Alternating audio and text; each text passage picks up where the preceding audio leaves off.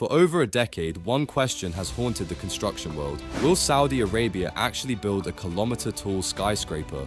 Right now, in the desert outside Jeddah, concrete is being poured, steel is rising, and after years of false starts, the answer might finally be yes. The Jeddah Tower, once called Kingdom Tower, is back from the dead, climbing toward a height that seemed impossible just a generation ago.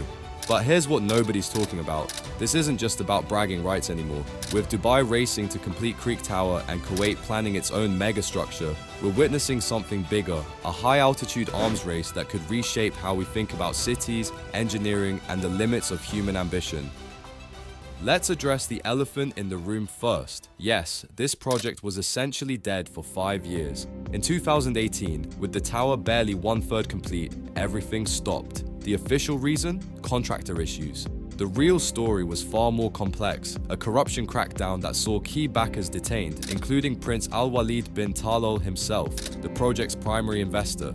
Frozen at 63 floors, the concrete skeleton stood in the desert like a monument to overambition. But something changed in 2023. The Saudi bin Laden Group, the construction giant behind the project, quietly began planning a resumption. No fanfare, no press releases, just groundwork for workers to return. By October 2024, they'd signed new contracts worth 7.2 billion Saudi riyals, that's about $1.9 billion, to restart construction, with actual pouring resuming in January 2025. Here's where it gets interesting. The resumption wasn't driven by pride or competition, it was pure economics. Saudi Arabia's Vision 2030 desperately needs Jeddah to become more than just a gateway to Mecca. The Jeddah Economic City, where the tower sits, represents a $20 billion bet on transforming the Red Sea coast into a business hub rivaling Dubai. Think about the timing. Oil prices are volatile, the Saudi economy needs diversification, and nothing says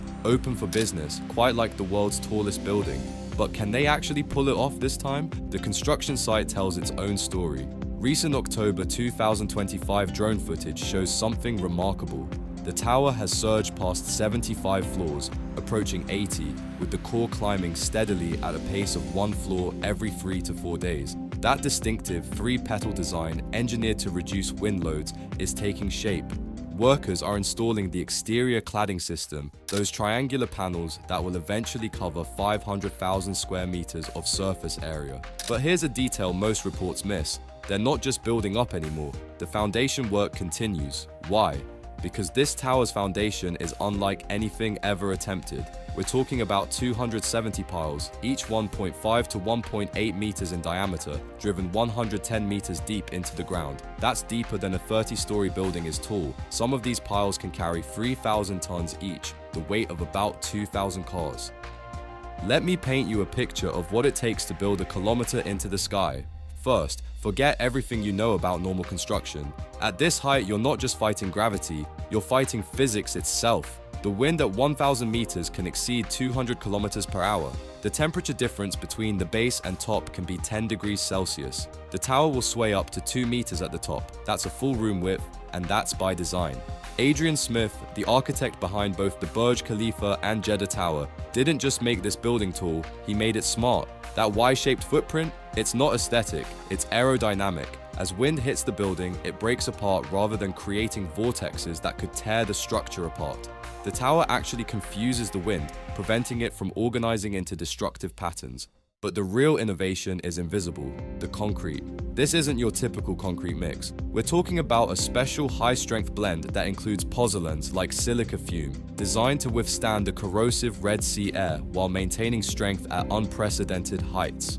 The concrete has to be pumped, get this, over 600 meters vertically. That requires pressures that would burst normal pipes. Here's something that keeps engineers up at night, differential shortening. As concrete cures, it shrinks. In a normal building, this is negligible. In a kilometer tall tower, the core could shrink by up to 25 centimeters relative to the perimeter columns. If not properly managed, this would tear the building apart from the inside. The solution? A complex system of outrigger trusses and belt walls that allow the building to compress evenly as it ages. The elevator system alone deserves its own documentary. 59 elevators, with some double-deckers, will move people at 10 meters per second. But here's the challenge nobody talks about, ear pressure. Rising 1,000 meters in 90 seconds is like ascending in an airplane. The elevators need pressurization systems similar to aircraft cabins. And then there's the spire.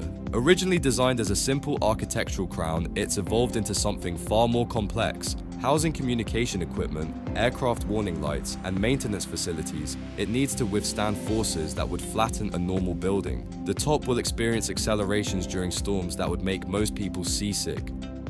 Let's talk money because that's where this story gets really interesting. The original cost? $1.2 billion.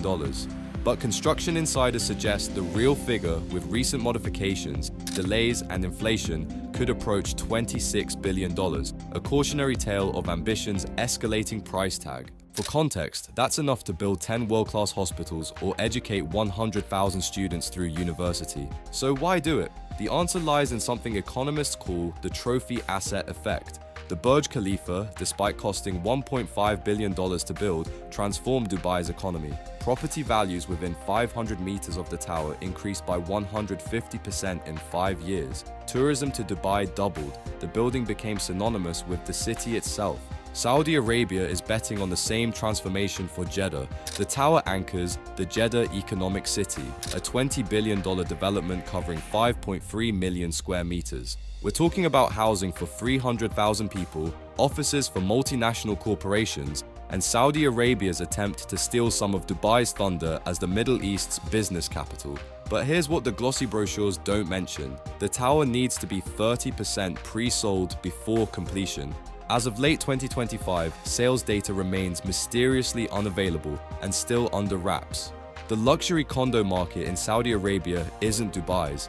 Jeddah doesn't have the same international appeal yet. The tower will contain a Four Seasons hotel occupying floors 48 through 94. That's 200 rooms with views stretching to the Red Sea. Above that, 325 luxury apartments, including some duplexes with private elevators. The top floors, office space that will literally be the highest in the world, where executives can look down on clouds. But who's buying? The target market is fascinating. Saudi princes, yes, but also Asian billionaires looking for a foothold in the kingdom, and increasingly, tech entrepreneurs drawn to Saudi's massive investment in artificial intelligence and renewable energy. The building is as much about attracting this new money as it is about displaying the old. There's another economic angle nobody discusses jobs. The construction alone employs 5,000 workers, mostly from South Asia. Once complete, the tower will need 2,000 people just for operations, security, maintenance, hospitality. In a country trying to reduce unemployment among its youth, that matters. While Saudi Arabia was struggling with corruption probes and contractor disputes, the rest of the world wasn't standing still. Dubai, not content with the Burj Khalifa's dominance, began work on Dubai Creek Tower. Originally designed to exceed 1,300 meters, 300 meters taller than Jeddah Tower, it was going to reclaim the crown before Saudi Arabia could claim it. But here's the twist. In 2024, they redesigned it to be shorter than the Burj Khalifa. Why? Officially, design optimization. Unofficially, perhaps the economics of super tall towers are finally catching up with ambition. As of 2025, construction remains paused post-redesign. Meanwhile, Kuwait announced the Burj Mubarak Al Kabir, planned for 1,001 meters, just one meter taller than Jeddah Tower. Coincidence? Hardly. This is architectural one-upmanship at its finest. Though still in planning stages, it shows how the race for height has become a regional obsession. But the real competition might come from an unexpected place China. While Middle Eastern nations fight over meters, China has quietly built more 300 meter plus towers in the last decade than the rest of the world combined. They have the technology, the experience, and increasingly the economic motivation to build something truly unprecedented. Here's what makes Jeddah Tower different from its competitors. It's already under construction, while others plan and redesign, Saudi Arabia is pouring concrete. Every day of actual construction puts them further ahead in a race where starting is often the hardest part. Now, let's talk about what could still go wrong because at this height, everything is a potential catastrophe. Water. At 1000 meters, getting water to the top isn't just about pressure, it's about preventing the pipes from exploding on the way up. The solution involves multiple pumping stations, essentially creating buildings within the building, each pressurizing water for the next stage up. Fire. How do you evacuate 5,000 people from 1,000 meters up? You don't. Instead, the building has refuge floors every 25 stories, fireproof zones with their own air supplies where people can shelter while firefighters respond. But here's the uncomfortable truth. No fire department in the world has equipment that can reach above 100 meters. Above that, the building has to save itself. Then there's the maintenance nightmare nobody wants to discuss.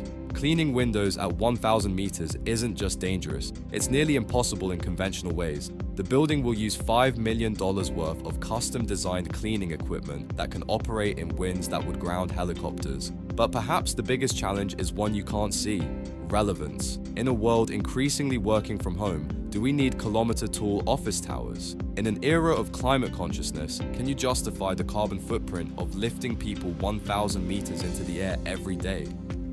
So, what are we really watching here? Is this humanity's next great achievement or our last great folly? Consider this.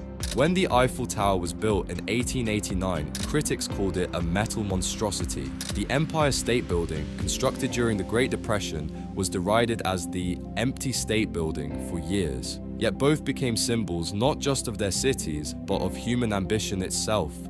The Jeddah Tower represents something similar for the 21st century, a bet that the future still belongs to those who dare to build it. It's Saudi Arabia announcing that it won't just pump oil, but will create landmarks. It's engineering pushing into territory where the only precedent is what you create yourself. Current projections put completion at 2028, though given the project's history, 2030 might be more realistic. That would make it a perfect symbol for Saudi's Vision 2030, delivered right on time, a kilometer tall, impossible to ignore. But here's the question that haunts this project. What comes next? Once you've built a kilometer tall, where do you go? 1.5 kilometers? 2? At what point does ambition become absurdity?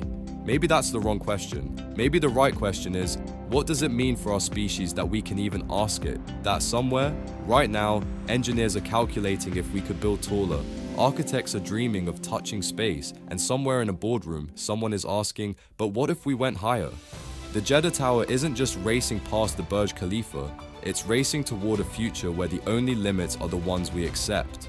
Whether that's inspiring or terrifying might depend on which floor you're standing on. One thing is certain, by the end of this decade, if you want to touch the sky, you'll need to go to Saudi Arabia to do it. The kingdom of oil is becoming the kingdom of clouds, and that changes everything. If this sky-high story left you inspired or a little dizzy, hit that like button if you're Team Jeddah Tower. Drop a comment below with your thoughts on the ultimate height limit, and subscribe for more epic dives into engineering marvels and mega projects. Turn on notifications so you don't miss the next one. Thanks for watching, see you at the top.